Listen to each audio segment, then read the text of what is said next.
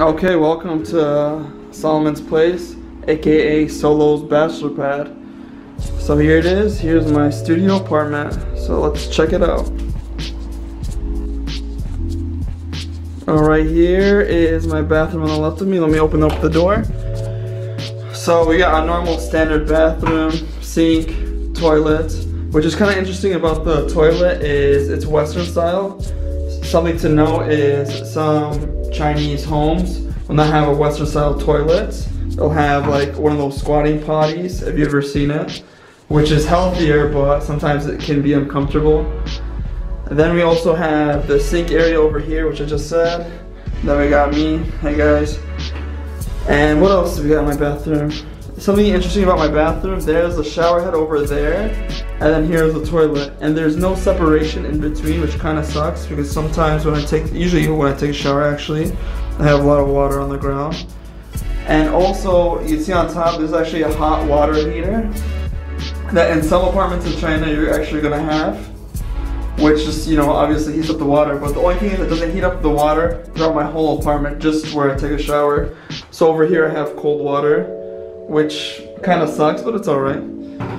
I just keep the hot water always on, just so if I ever want to, you know, take a hot shower right away, it's just ready. And then stepping outside of the bathroom, here, let me close the door. I have the front entrance. Front entrance is just where I keep all my shoes. Got my Dragon Ball Z shoes, Goku style. Big fan of Dragon Ball Z. Then let's step over here near the kitchen area, you could say. There's a sink over there. And then over here is my water. I usually buy these like five liter gallons of water because unfortunately you can't drink the tap water here. Some people do boil the water and drink it, but I usually just go with bottled water. Usually that's what a lot of people do over here.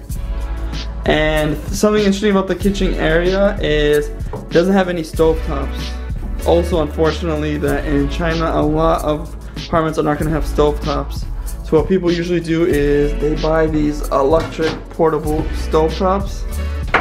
You just plug in the wall over over here for example and then you just cook your food like that. Which is a little bit inconvenient but still gets the job done. There we got the refrigerator over there, washing machine on the left. It's kind of broken but it's okay, it still does the job. And then yeah, I have some meat over here. Gonna make some nice beef quesadillas tonight. And over here is where I actually dry my clothes. You see my clothes are in this thing. If I just like, uh, I'm just gonna zip it up real quick and show you. If I just like put my clothes in this thing, zip it up, and then I turn on this thing at the bottom, like shoots out hot air over here and then it that just dries my clothes. It usually takes typically about a few hours, which I do miss a real dryer, but it's okay. And over here is like the main area of my studio apartment. I got the bed over there. I got my M&M's cool guy blanket over here. It's very comfortable, especially in the winter over here. It gets to like like 50 degrees, which is about like low digits in Celsius. Also have two chairs, coffee table right there, one table over there where I usually just keep some of my watches, some vitamins.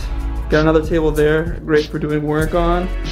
Nightstand, and have cabinets over here which can fit in a lot of stuff, which is great for one person or even two is fine.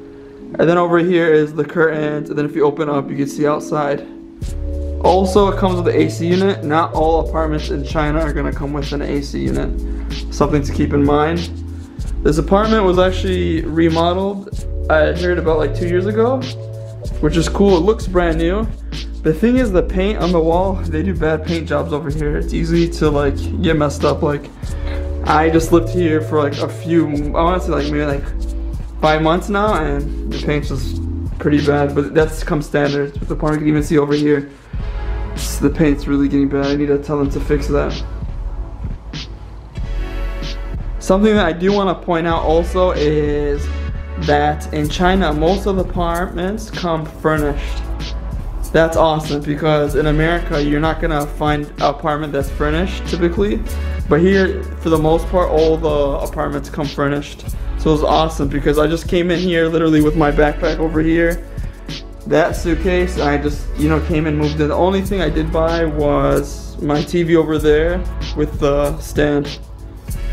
And, you know, just house items like my vacuum over there. But yeah, this is basically my apartment.